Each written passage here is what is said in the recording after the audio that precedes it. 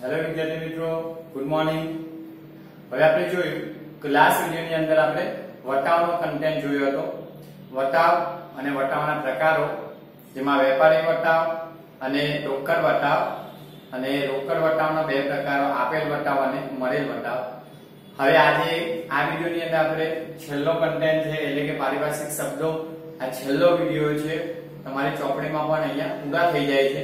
તો જુઓ એકતાલીસ ફોર્ટી વન ઘસારો. હવે ઘસારો કોને કહેવાય પહેલા કહી નાખું. તને એક એક્ઝામ્પલ આપી દેવા આપણે સામાન્ય વ્યવહારમાં. માનો કે આપણે કોઈ ટુ વ્હીલર લાવીએ છીએ કે એક્ટિવા લાવે. આજે આપણે એક્ટિવા ખરીદ્યું સિત્તેર હજારમાં. આ એક્ટિવા આપણે વાપરીએ છીએ ત્રણ મહિના સુધી વાપરીએ વાપરવાની જે રીત છે દરેકની અલગ અલગ હોય. પણ સપોઝ કે સામાન્ય જે લોકો વાપરે એ રીતના આપણે વાપરીએ છે સિત્તેર હજારનું એક્ટિવા ખરીદે ત્રણ મહિના થયા. ત્રણ મહિના પછી એને વેચાણ માટે બજારમાં મૂકો. તો એકચ્યુઅલી એની કિંમત દસ હજાર, પાંચ હજાર જેવી કન્ડિશન વપરાયેલી હોય એ પ્રમાણે ઓછી આવવાની. માનો કે દસ હજાર ઓછા આવ્યા તો સાઠ હજાર રૂપિયા તમને મળે એ વેચાણમાં મૂકો ત્યારે. તો એકચ્યુઅલી તમને દસ હજાર કેમ ઓછા મળે? તો તમે મિલકત વાપરી વપરાશના કારણે એનું મૂલ્ય ઘટ્યું, જેને આપણે કહીએ છીએ ઘસારો. તો એ દસ હજારે એક્ટિવા વપરાયું છે, વાપર્યું છે, એનો ઘસારો છે. એ ઘટાડો જે કિંમતમાં એને ઘસારો કહેવાય. એવી જ રીતે ધંધાની અંદર મિલકતો ખરીદેલી હોય છે. તો જમીન, મકાન, યંત્ર, ફર્નિચર, વાહનો પ્લાન્ટ મશીનરી આ બધી કાયમી મિલકતો છે, સ્થાયી મિલકતો. તો આ મિલકતો છે એ વપરાય છે એનું વપરાશ મૂલ્ય ઘટે છે. તો આ વપરાશ મૂલ્ય ઘટે છે, જે કિંમત ઘટે છે એને ઘસારો કહેવાય અને ઘસારો બાદની રકમ ચોપડે કિંમત દર્શાવાય મિલકતોની, જેથી સાચી આર્થિક પરિસ્થિતિ જાણવા માટે તો આ સાચી આર્થિક પરિસ્થિતિ જાણવી હોય તો મિલકતની કિંમત જેટલી, મિલકતો જેટલી વપરાય, સમય જેટલો પસાર થાય સમય મૂલ્ય પણ ઘટે, એ ઘસારો બાદ કરવો પડે છે, અને ઘસારો ખર્ચ તરીકે બાદ મળે. તો ઘસારો સ્થાયી અને કાયમી મિલકતો પર ગણાય. જુઓ. મિલકતની કિંમતમાં ક્રમશઃ અને કાયમી થતો ઘટાડો એટલે ઘસારો. એક તો એની કિંમતમાં ક્રમ હશે એટલે દર વર્ષે અને કાયમી ધોરણે ઘટાડો પછી કિંમત વધવાની નથી. ઘટાડો જોઈએ એને ઘસારો કહેવાય. ઘસારાનું આખું એક ચેપ્ટર છે. ભાગ 2 ની અંદર એકાઉન્ટમાં ત્યાં તો ભણવાનો છે. આ વ્યાખ્યા હું તમને ત્યાંની આપેલી છે. શોર્ટમાં લખી શકાય એટલે ડેફિનેશન ખબર પડે એટલે. તો ફરીથી કહું મિલકતની કિંમતમાં ક્રમશઃ અને કાયમી થતો ઘટાડો એટલે ઘસારો. ધંધામાં માનો કે જમીન પર ઘસારો ગણાય એ પણ કહી નાખું, કારણ કે જમીનની વેલ્યુ ક્યારે ઘટે ને હંમેશા વધે. ઓકે એનું કોઈ ઘસારણ થતું નથી. એનું સમય મૂલ્ય કે એનું વપરાશ મૂલ્ય પણ ઘટતું નથી. અપવાદમાં બને એવું. બીજું જુઓ, ધંધાની અંદર કોઈ મકાન ખરીદ સોરી યંત્ર આપણે એક્ઝામ્પલ જોયું કે ધંધાની અંદર આજે એક લાખનું યંત્ર ખરીદ્યું છે. હવે એક વર્ષ સુધી આપણે એને વાપરીને એક વર્ષ પૂરું થયું, હવે આપણે આ યંત્રને જો વેચાણ માટે મૂકીએ બજારમાં, તો એના એક લાખ એક લાખ રૂપિયા તમને મળવાના નથી. કારણ તમે એક વર્ષ સુધી વાપર્યું અને એક વર્ષ વાપર્યું સમય મૂલ્ય પણ ઘટ્યું અને વાપરેલું વપરાશ મૂલ્ય પણ ઘટ્યું. તો આજે એનું વેચાણ માટે મૂકો તો સિત્તેર હજાર, એસી હજાર જેવું વપરાશ થયો છે એવી ઓછી કિંમત મળે. તો જેટલી ઓછી કિંમત ઘટે છે, એટલે કે એની કિંમત ઘટે છે વીસ હજાર કે ત્રીસ હજાર. સિત્તેર હજારમાં વેચાય બજાર વેલ્યુ ઉપજે તો ત્રીસ હજાર ઘસારો કહેવાય છે, ઘટાડો એમ. તો એની કિંમત એટલી ઘટે છે. એ વેલ્યુએશન ચોપડે ઘટાડવામાં આવે ઘસારો કહેવાય. જુઓ, તો ઘસારો કઈ મિલકત પર આ વ્યાખ્યા પૂછાય દે હવે આ બાબત, જો ઘસારો એ મકાન, યંત્ર ફર્નિચર વાહન પ્લાન્ટ મશીનરી જેવી ઘણી છે મિલકતો. પાઘડી પેટર્ન પાઘડી પેટર્ન ટ્રેડમાર્ક કોપીરાઇટ જેવી અદ્રશ્ય મિલકતો પર સીધી લીટીની એ ગણાય. પદ્ધતિ ત્યાં જોઈશું આપણે. અહીંયા આવતી નથી, પણ એની પર પણ ઘસારો ગણવામાં આવે. ઘસારો કાયમી મિલકતો પર ગણવામાં આવે. જમીન પર ઘસારો ગણાય ને. જમીન વાપરો ને તો એનો વપરાશ મૂલ્ય કે સમય મૂલ્ય ક્યારે ઘટતું નથી, વધે છે એની પર ઘસારો ગણવામાં આવતો નથી. બીજું, ઘસારો એ ધંધાનો બિન રોકડ ખર્ચ. બિન રોકડ એટલે જો પગાર, દલાલી, ભાડું વીજળી બિલ, સ્ટેશનરી ખર્ચ ટેલિફોન ખર્ચ, એ બધા રોકડેથી ચૂકવાય ધંધામાંથી ખર્ચા. જ્યારે ઘસારો કેવી રીતના ગણાય? તો ચોપડે જ્યારે મિલકત હોય, માનો કે મકાન ચોપડે દસ લાખનું હોય, એક વર્ષ વાપરો છો, તો એની કિંમતમાં જે ઘટાડો થયો, માનો કે આજે મકાનના પચાસ હજાર ઓછા મળે છે બજાર વેલ્યુ, તો ઘસારો પચાસ હજાર કહેવાય. ઘસારા બાદની કિંમત ચોપડે દર્શાવાય. હવે આ ઘટાડો થયો છે પચાસ હજાર. એ આપણે કે રોકડેથી નથી ચૂકવ્યો. એ ધંધાની મિલકતમાં ઘટાડો દર્શાવે છે. એટલે કેવો ખર્ચ બિન રોકડ ખર્ચ કહેવાય. ઓકે? બીજું જોઈએ આગળ. નેક્સ્ટ ગાલખા હવે ગાલખાપ જેનું બીજું નામ ડૂબેલું લેણું. આ શબ્દ યાદ રાખજો મિત્રો.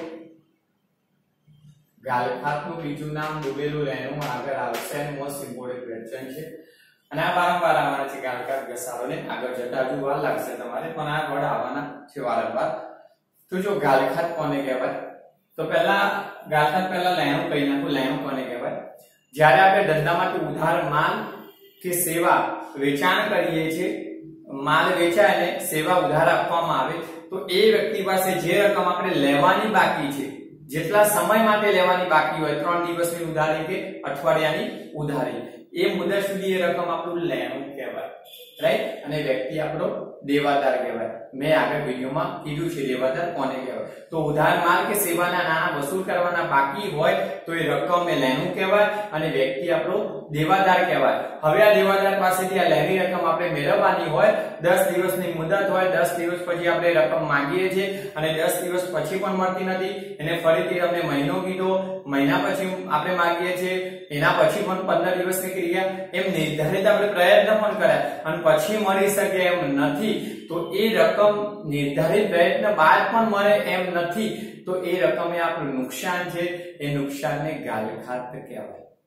રાઈટ તો દેવાદાર પાસેથી જે લેણી રકમ છે, માલ વેચાણની, કે સેવાની, નિર્ધારિત પ્રયત્ન બાદ જેને મુદત આપી હતી એને અઠવાડિયું, દસ દિવસ પછી ફરીથી આપી, બીજી વખત, ત્રીજી વખત, એમ પ્રયત્નો કર્યા. આપણાથી બને ત્યાં સુધી પછી પણ હવે મળે એમ લાગતું જ નથી. તો એ રકમ આપણી ગાલ ખાતે છે. જેટલી રકમ ન મળે એટલી ગાલ જો પૂરેપૂરી રકમ ના મળે, તો પૂરેપૂરી ગાલ ખાત એમાંથી અંશાર્ધ જે રકમ મળી જાય, એના સિવાયની રકમ છે જે ન મળે, તે ગાલ ખાત કહેવાય, જે ધંધાનું નુકસાન. તો જોઈ લો, ઉધાર માલના દેવાદારો કે સેવા આપણે ઉધાર આપી હોય, એટલે કે કર્મચારીઓ તો એમ્પ્લોયી સેવા આપે ઇલેક્ટ્રિશિયન એન્જિનિયર વીજ કંપની, આ બધી સેવાઓ છે, દરેક કંપની માટે સેવા અલગ અલગ શબ્દ છે. આપણે માલના સંદર્ભમાં જોઈએ, ઉધાર માલના દેવાદારો પાસેથી નિર્ધારિત પ્રયત્નો બાદ તેમની નબળી આર્થિક પરિસ્થિતિને કારણે કુલ વેચાણની રકમમાંથી જેટલી રકમ વસૂલ થઈ શકે નહીં, જે કુલ વેચાણની રકમમાંથી વસૂલ થઈ શકે ને એને ગાલખાત કહેવાય. ઉધાર વેચાણના દેવાદાર આપણે પચાસ હજારનો માલ વેચાણ કર્યો ગ્રાહકોને, તો ગ્રાહક દસ દિવસની મુદત માટે. તો ગ્રાહક આપણો દેવાદાર અને પચાસ હજાર લેની રકમ. હવે દસ દિવસ પછી આર્થિક પરિસ્થિતિ નબળી છે. માનો કે ફાઇનાન્શિયલ પરિસ્થિતિ, આર્થિક પરિસ્થિતિ નબળી પડી. એને દસ દિવસ પછી આપ્યા નહીં. એને ફરીથી કીધું કે હું મહિના પછી આપીશ. તો આપણે મહિના પછી પણ આપણે પ્રયત્ન કરીશું. બીજી દસ દિવસ મુદત મુદત આપે તોય પ્રયત્ન કરીશું. એ પ્રયત્ન બાદ જે કુલ વેચાણની પચાસ હજારની રકમ હતી, એમાંથી એ આપણને ત્રીસ હજાર જ આપી શકે છે. વીસ હજાર આપતો નથી. તો વીસ હજાર એ ગાલ ખાત માને કે પચાસ હજાર આપતો નથી. તો પચાસ હજાર પૂરેપૂરી રકમ ગાલ ખાત ઓકે? અંશત આપે તો એટલી રકમ, અને જો પૂરેપૂરી ના આપે તો પૂરેપૂરી રકમ ગાલખાત કહેવાય. મેં આગળ કીધું હતું. આવી ગાલખાત એ ખર્ચ નથી. લેણી રકમ નુકસાન પડે છે. મળતી નથી. એટલે ગાલખાત ખર્ચ નહીં ધંધાનું નુકસાન છે. ઓકે? ચલો, બીજો વર્ડ જોઈએ સરદાર હવે ખાસ આ સરદાર ને નાદાર છે ને, એકબીજાને કોમ્પ્લિકેટ છે વિરોધી અને આ બીજે તો સરદાર કોને કહેવાય? તો હું કહી નાખું. આપણે આપણા સામાન્ય જીવનની અંદર જોઈ લો આજુબાજુમાં. જે જે કુટુંબ ફેમિલી જે તમારી આજુબાજુમાં રહેતા હોય, તેમના ઘરે આર્થિક સંપત્તિ, માનો કે મકાન પોતાનું હોય પ્લોટ હોય પછી સારું ગાર્ડન અથવા લક્ઝુરિયસ ગાડી હોય તો કેપેબલ કહેવાય છે ફેમિલી તો એવા ફેમિલીને આપણે આર્થિક શું કહે છે? સદ્ધર છે. ફાઇનાન્સિયલ પરિસ્થિતિ સારી છે. બસ એ શબ્દ ધંધામાં પણ હોય છે કે જે વ્યક્તિ પોતાની જે દેવા ચૂકવવાની જવાબદારી છે એ સમયસર ચૂકવતો હોય. યાદ રાખજો, જે વ્યક્તિ એટલે કે વેપારી હોય કે કોઈ પણ હોય, એ વેપારી એ પોતાની જે જવાબદારીઓ છે દેવા ચૂકવવાની, ઉધાર માલના, સેવાના, તો એ જવાબદારી સમયસર ચૂકવતો હોય. એનો મતલબ એવો થાય કે એની મિલકતો દેવા કરતા વધુ છે. જે દેવા ચૂકવવાના છે એને ધંધામાંથી બેંક લોન હોય, માલના, ઉધારના, એના કરતા મિલકતો વધુ છે, તો આ વ્યક્તિને હિસાબી પદ્ધતિમાં શું કહેવાય સદ્ધર જોઈ લો. જે વ્યક્તિ પોતાની નાણાકીય જવાબદારી એટલે દેવા, એને ધંધામાંથી જે દેવા ચૂકવવાના હોય એ નિયમિતપણે ચૂકવતો હોય. અને ક્યારે ચૂકવે? તો આપણને ખબર છે કે એની આર્થિક પરિસ્થિતિ સારી હોય. હવે આર્થિક પરિસ્થિતિ કોને કહેવાય? તો દેવા છે એના કરતા મિલકતો વધુ હોય. માનો કે દેવા એને પાંચ લાખ ચૂકવવાના છે અને એની મિલકતો વીસ લાખની છે. તો મિલકતો વધુ છે તો એ આર્થિક રીતે સદ્ધર. જુઓ. જેની મિલકતો તેની જવાબદારી એટલે દેવા. જવાબદારીને બીજો શબ્દ દેવા. દેવા કરતા વધારે છે તે વ્યક્તિને હિસાબી પદ્ધતિ હિસાબી પદ્ધતિની ભાષામાં સદ્ધર વ્યક્તિ કહેવાય. સદ્ધર લેણું પણ કહેવાય. ઓકે વ્યક્તિ પાસેથી રકમ વસૂલવાની હોય તો લેણું ઓકે ને વ્યક્તિને સદ્ધર કહેવાય. ક્લિયર સદ્ધર વ્યક્તિ? ચલો, આનાથી વિરુદ્ધ શબ્દ નાદાર લો સામે. 44 નાદાર કોને કહેવાય? અથવા નાદાર વ્યક્તિ. તો જોઈ લેજો કે જે વ્યક્તિ પોતાની નાણાકીય પર જવાબદારી એટલે કે દેવું સમયસર ચૂકવતો નથી. એનો મતલબ એવો થાય કે એની આર્થિક પરિસ્થિતિ નબળી છે. આર્થિક પરિસ્થિતિ એટલે કે એની મિલકતો કરતા દેવાનું પ્રમાણ વધુ. મિલકતો કરતા દેવું વધુ છે. એનો મતલબ મિલકતો ઓછી છે. તો હિસાબી ભાષામાં વ્યક્તિને શું કહેવાય? નાદાર આપણે આજુબાજુમાં નથી કહેતા કે ઘણા બધા વ્યક્તિઓ છે, આમ દેખાવો કરે, ખરીદે. મારે કે લક્ઝરી ગાડીઓ ખરીદે, બાંધકામ કરે અપવાદ આવું બનતું હોય. પછી વ્યક્તિ જ્યારે દેવા ચૂકવવાના આવે, જેમ કે બેંક લોન આવે, ઉધાર લીધેલા નાના ચૂકવવાના આવે, તો વ્યક્તિ શું કરે છે? નાદારી જાહેર કરે કે હું ચૂકવી શકું નહીં. ઘણી વખત જોઉં છું કે વ્યક્તિ ભાગી જાય છે પોતાના દેવા ચૂકવવામાંથી, જવાબદારીમાંથી, ગુમ થઈ જાય છે. હા વાતાવરણમાં સંતાઈ જાય એવા વ્યક્તિ. એટલે આપણે તો એમ કહીએ છીએ કે આ વ્યક્તિ નાદાર. તો હિસાબી ભાષામાં પણ એને નાદાર જ કહેવાય છે. જુઓ, તો વ્યાખ્યા જુઓ.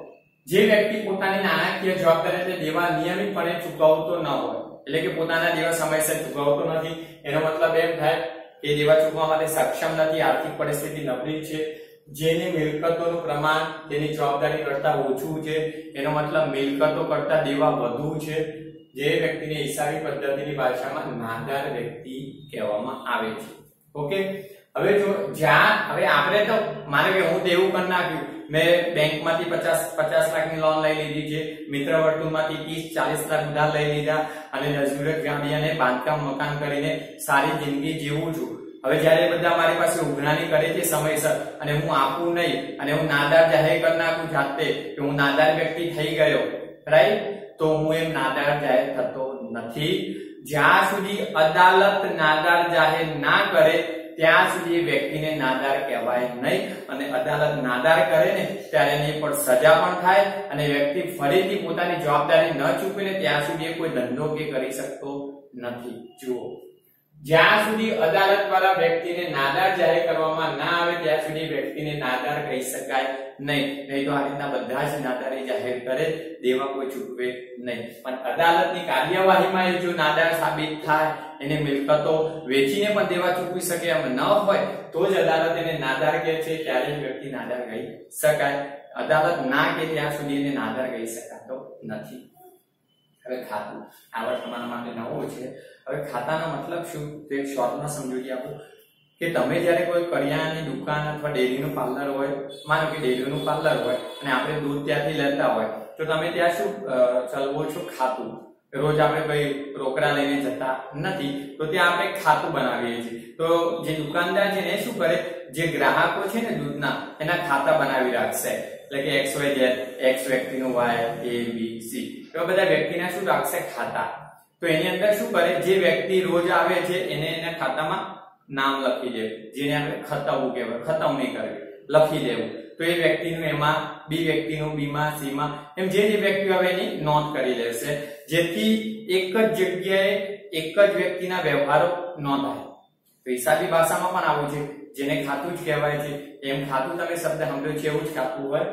જો કોઈ નિશ્ચિત સમયને અંતે, એટલે કે આપણે હિસાબી પદ્ધતિમાં વર્ષના અંતે હોય, ખાતું ક્લોઝ કરવાનું. વ્યવહારો તો અમુક સમયાંતરે ખતમણી થાય. તો નિશ્ચિત સમયને અંતે વ્યક્તિગત વ્યક્તિગત ખાતા આવશે ભણવાનું હજુ બીજા ચેપ્ટરમાં માલ મિલકતના ખાતા આવશે અને ઉપજ ખર્ચને લગતી હિસાબી અસરો દર્શાવતું તારણ એટલે ખાતું.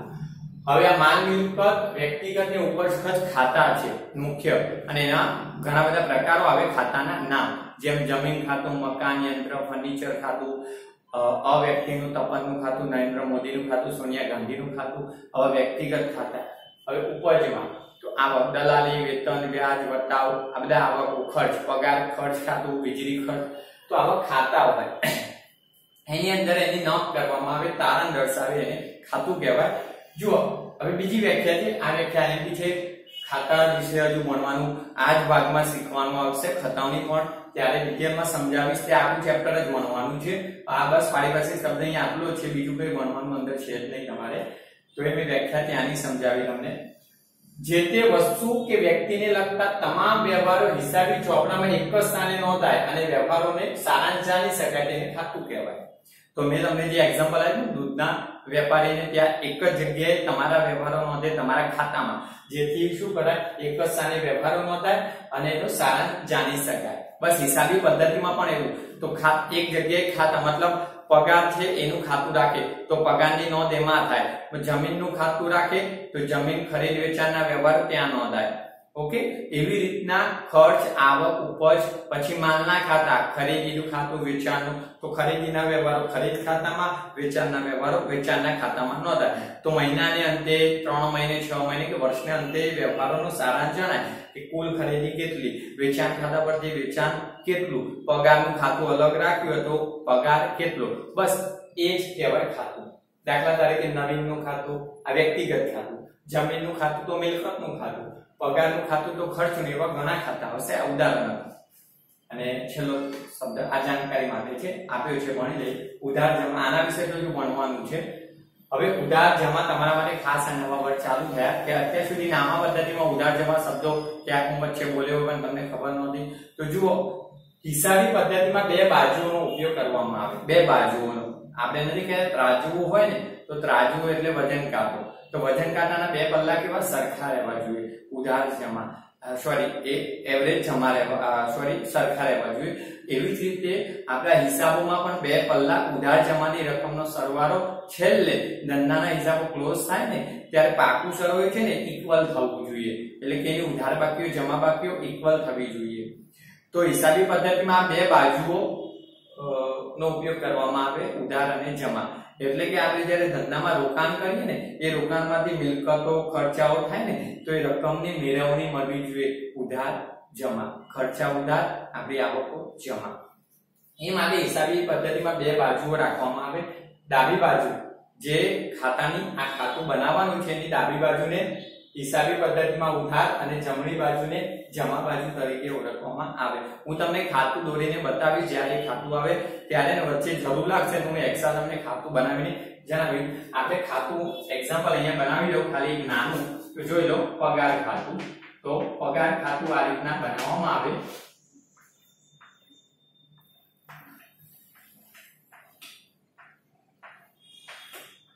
આ રીતના દરેક ખાતું આ રીતના બનશે. જમીન ખાતું તો જમીન ખાતું, મકાન ખાતું, યંત્ર એમ. જો અહીંયા તારીખનું ખાનું આવે, અહીંયા વિગતનું ખાનું આવે, અહીંયા નોંધ પાના નંબર, ઓકે? અહીંયા રકમ રૂપિયા. અહીંયા તારીખનું ખાનું, અહીંયા વિગત, નોંધ પાના નંબર અને રકમ રૂપિયા.